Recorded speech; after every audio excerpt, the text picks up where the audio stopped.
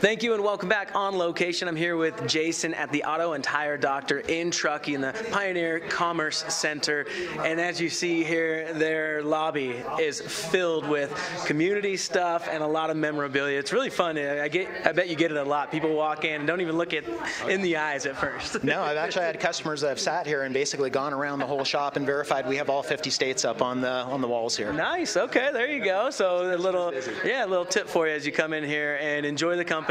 Great staff and very educated. Tell us what we need to know with some weather on the way coming up next week. Well, of course, we all know working here or living here in Truckee that we're coming up on tire season and winter.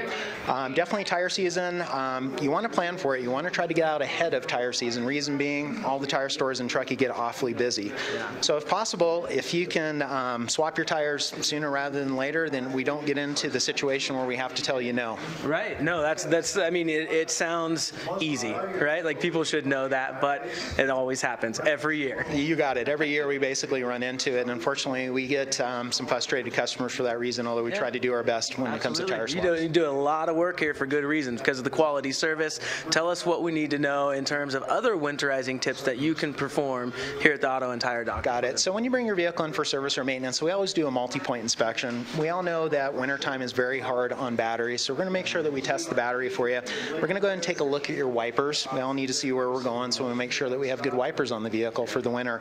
Also, we're going to do an overall inspection on the vehicle, make sure we don't need any fluid serviced in terms of the four-wheel drive system, because yep. definitely this time of year we do start using our four-wheel drives. Yeah. And just make sure the car's in good working order. Uh, yeah, we were uh, just in here. Darren Ralphs just got his, checked his truck out. I see on the wall Doug Stoup up, up here, and uh, a lot of people that put their cars hard at work out there in the back country, and they trust you guys with their cars. Definitely, definitely. Um, been in business 35 years. We're well aware of basically the weather conditions up here. Mm-hmm. We're also well aware of what the vehicles need in terms of service in a winter environment. Right, and I mean it started with the auto, the mechanic side of it, but then Correct. obviously tires, just a, a, a mainstay, a, necessity here. Good tires That's through correct. the winter. What's your what's your most common number one like all-terrain tire or winter? If somebody just needs to know a little bit of something before they come. Well, what we like to do at the auto doctor, we always like to interview the customer. First thing we need to establish is what type of vehicle do you have.